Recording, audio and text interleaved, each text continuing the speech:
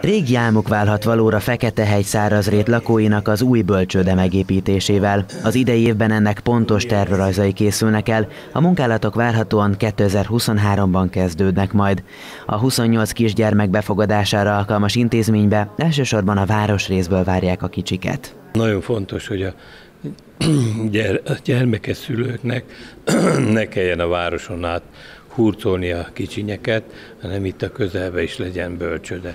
214 fő az egyelőre úgy tűnik elegendőnek tűnik, és nagyon sokan várják ezt már.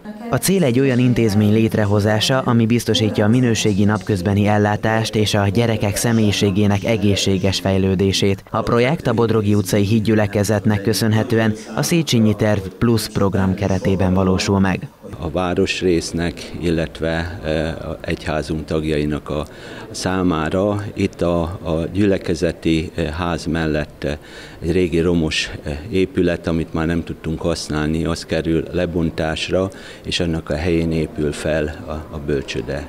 A közel 420 millió forintos beruházásnak köszönhetően egy modern, esztétikus épület fogadja majd a gyerkőcöket várhatóan 2024 őszétől. Mindez segíti a szülők munkaerőpiacra történő visszatérését is, valamint az energiatudatos építészeti megoldások az Európai Uniós klímacélok teljesítéséhez is hozzájárulnak.